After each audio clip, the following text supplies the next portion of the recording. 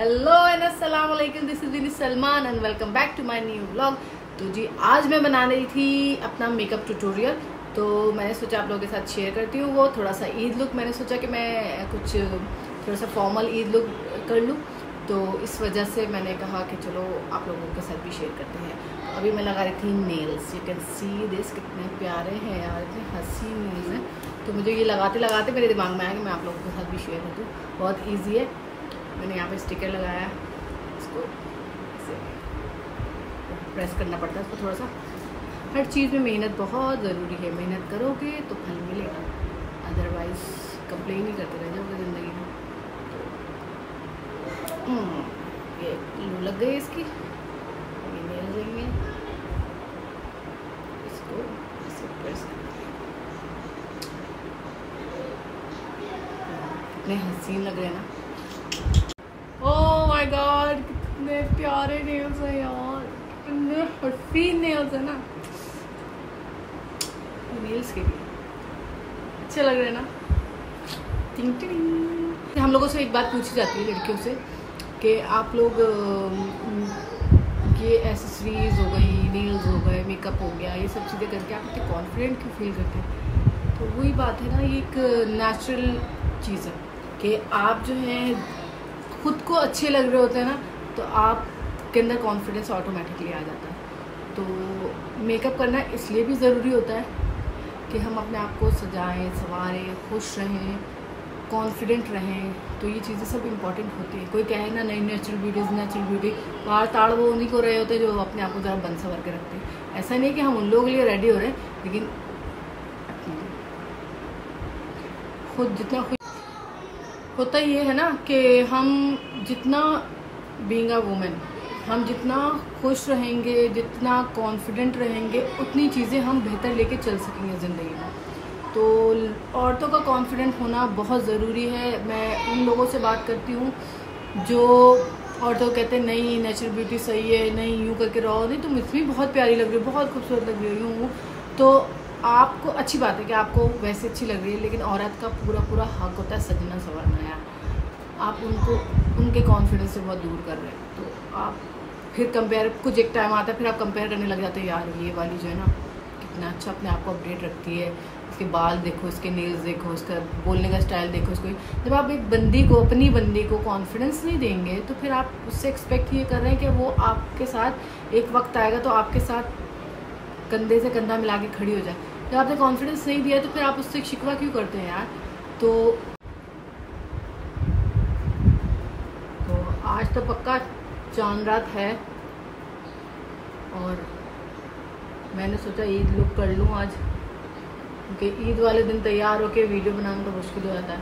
वैसे वीडियो तो बन जाती है लेकिन ट्यूटोरियल्स वगैरह बनना मुश्किल हो जाता है।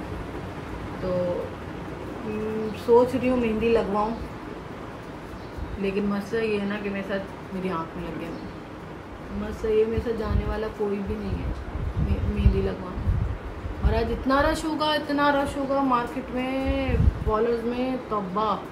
तो इससे बेहतर है घर में जो खुद कुछ कर सकती है ना, वो मैं कर लूँ। टाइम बचाओ, क्योंकि फिर इसके बाद घर के दूसरे काम भी देखने कल के लिए। तो मैरिड वूमेन का यही होता है। कवारे होते हैं ना, तब सही रहता है। यहाँ जा रहे हैं, वहाँ जा रहे हैं, सब अम्मियाँ देख रही होती हैं। लेकिन जब शादी हो जाती है ना, फिर सब देखना पड़ता है बच्चों को। हमारे घर का कल नेट ऑफ़ था। ऑफ़ क्या था? इतना स्लो था कि कल मैंने पूरा दिन हो गया था व्लॉग अपलोड करते करते करते करते। वो मेरा दस ग्यारह मिनट का व्लॉग जो है, सुबह मेरा छः सात बजे अपलोड हुआ है। तो इसलिए मैंने अभी अपलोड नहीं किया कि पता नहीं क्या मसला चल रहा है। इंटरनेट वाले को बुलाया भी है तो कोई रिस्पॉन्स नहीं मिल रहा है संगीत की चौकियों में लगे। आई होप कि जो मैं बना रही हूँ टाइम पर डल जाए। अच्छा जी। कल मुझे मुझे अभी आज ना सोच रही थी कि मैं रात में मेकअप करूँगी कोई वीडियोस बनाऊँगी, लेकिन फिर मैंने प्लान किया कि मुझे जाना है मार्ट थोड़ी सी ग्रॉसरी करनी, क्योंकि कल खीर वीर जो भी बनती है, खीर कौरमा या खीर जो भी बच्चे बोलेंगे तो उनके लिए मैं वो चीज़ें लेकर आनी है। कुछ चीज़ें उसमें से ड्राई फ्रूट रह गया था, बोले नहीं तो मैं उधर जाऊँगी। तो फिर मैंने सोचा आज दिन में ही काम निपटा दूँ। इंस्टा पे काफ़ी दिन से स्टोरी नहीं डाल रही तो इस चक्कर में मैं बैठी थी कि मैं मेकअप स्टोरी डाल लूँ भाई, आप लोग बताएँ, आप लोगों ने चाँद रात में क्या क्या किया? कैसी गुजरी है आप लोगों की चाँद रात? हम लेडीज़ के तो बहुत काम होता है तो मैंने एक हफ़्ते पहले से अपना काम निपटाना शुरू कर दिया देता हमें एंड टाइम पे काम याद आता था हर साल, लेकिन अब मैंने इस साल तो सोचा कि मैं सारा काम निपटा के फ्री हो जाऊँगी। और फिर जो मैं तो जो मैंने फाउंडेशन कर लिया है और पाउडर कर लिया है सारा, मैं इतनी लंबी वीडियो नहीं बना सकती। तो नेट का भी इतना इशू है, वो सब बोर हो जाते लोग देख देख के। तो मैंने अपना फाउंडेशन कर लिया है और मैं कंट्रोल कर रही हूँ। बड़ी फरमाइश पे वीडियो बन रही है क्योंकि लोग बोल रहे हैं, मेरे जो इंस्टाग्राम पे होते हैं फॉलोअर्स हैं तो मुझे ये कह रहे हैं कि आप मेकअप आर्टिस्ट हैं तो आप अपनी ब्लॉगिंग में मेकअप का एलिमेंट बहुत ज़्यादा रखें। बहुत ज़्यादा तो नहीं, लेकिन ये कि अपना काम भी तो दिखाना है ना आप लोगों को। शायद थोड़ा बहुत भी पसंद आया आप लोगों को। मैं प्लान कर रही हूँ कि मैं कुछ ट्यूटोरियल्स बनाऊँ और उसके साथ साथ अल्लाह वीडियो बनाने के चक्कर में इन दोनों को चुप कराना पड़ता है, इतनी मुश्किल कर देते हैं ना ये लोग। जी, मैं कॉन्टोरिंग नोज़ कॉन्टोरिंग कर रही हूँ। अच्छा कॉन्टोरिंग करते वक्त हमेशा आप नीचे देखो। ऊपर देखोगे तो आपकी नोज़ गलत कट हो जाएगी। नीचे देख के आप कॉन्टोर करोगे तो आपकी शार्प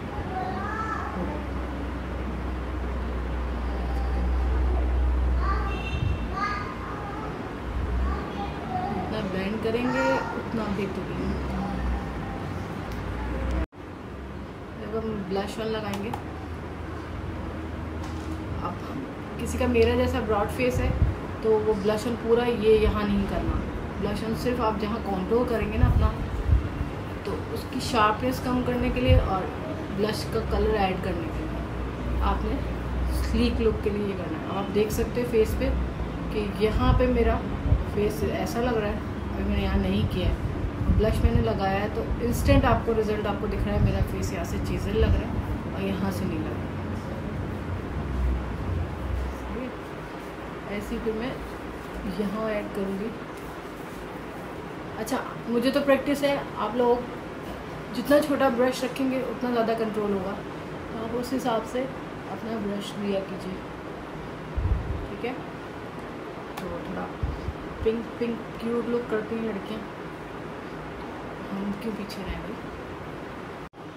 ब्लशन के बाद जो आपका पाउडर प्रोडक्ट है, वो आपका कंप्लीट हो गया है तो उसके बाद हम हम सेटिंग स्प्रे करेंगे। ये सेटिंग स्प्रे हो गया। इसके बाद हम फ़ौरन जो है ना, वो हाइलाइटर यूज़ करेंगे। इससे ये होता है कि बहुत ज़्यादा पॉपअप हो जाता है हमारा हाइलाइटर जो है। मैं काशीज़ का यूज़ कर रही हूँ। आप देख सकते हैं।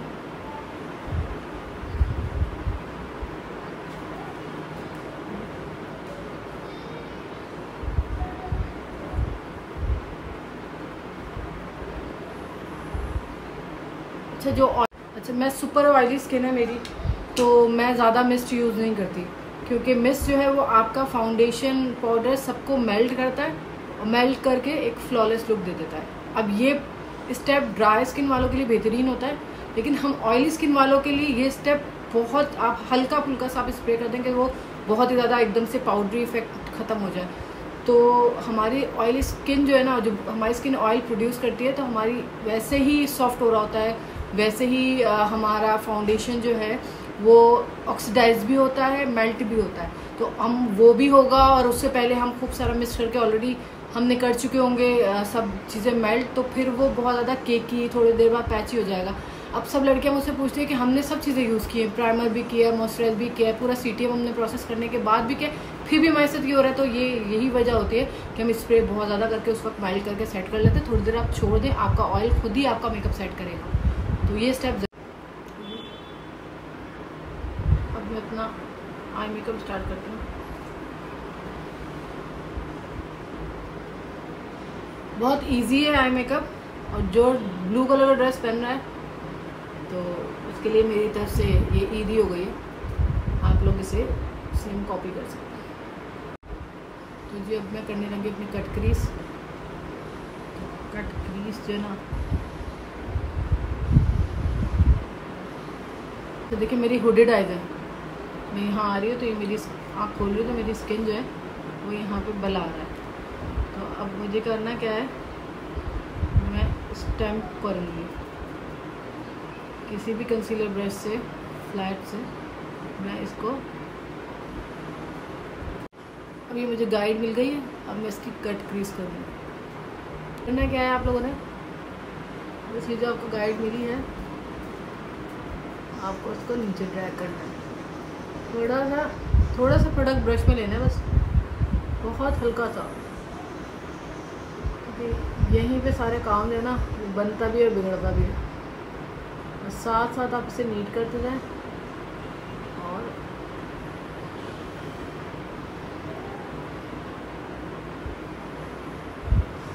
जी वही मेरी कट क्रीज अब जो है मैं कोई भी हाइलाइटर लूँगी।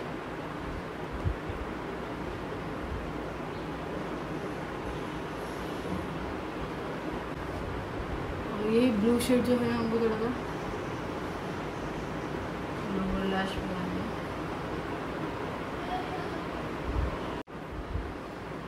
ये जिसको लाइनर नहीं आता, उसके लिए मैंने ऑल्टरनेट सोचा कि मैं आप लोगों को दिखा दूँ। कुछ नहीं करना एक एंगल ब्रश लेना है।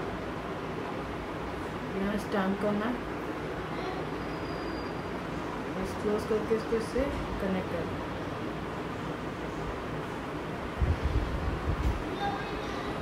अगर फैल जाए ये भी तो कोई टेंशन नहीं लेना।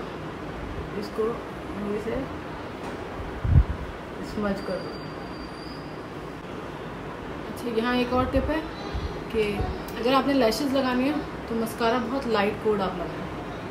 तो उससे ये होता है कि अलग अलग नहीं दिखती, वरना हम यहाँ ज़्यादा लगा लेते हैं, फिर हम ऊपर से लैशेस लगा लेते हैं तो वो ऐसा लगता है कि ये सेपरेट दिखती है, वो सेपरेट दिखती है। न्यू पेंसिल नहीं थी जो मैं अपनी वाटर लाइन में लगा सकूँ तो कुछ नहीं किया मैंने फाउंडेशन जो था, मेरा स्टिक फाउंडेशन उसको मैंने ऐसे लिया, उसमें मैंने ऐसे निकाला, किसी भी ब्रश के टिप पर निकाल के, आप उसको ऐसे करके लगा लो।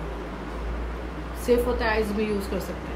तो जी, ये है मेरा फाइनल लुक तो आई होप आप लोग को पसंद आया होगा. अगर आप लोग को पसंद आया होगा तो लाइक करो शेयर करो सब्सक्राइब करो. सब्सक्राइबर्स बढ़ाओ यार मेरे.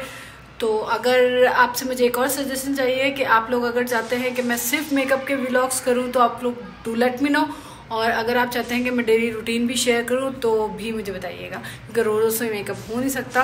तो देखूँगी मैं किसके क्या सजेशंस हैं, और जो मैं कर सकूँगी वो मैं ज़रूर करूँगी. आई होप आप लोग को पसंद आई होगा आइया होगा।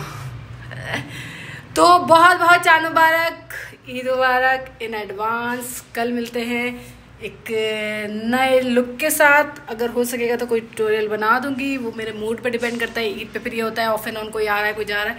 तो बहुत सारी चीज़ें जो हैं वो पॉसिबल नहीं होती। तो इंशाल्लाह मैं आपसे नेक्स्ट व्लॉग में मिलती हूँ। Tata bye bye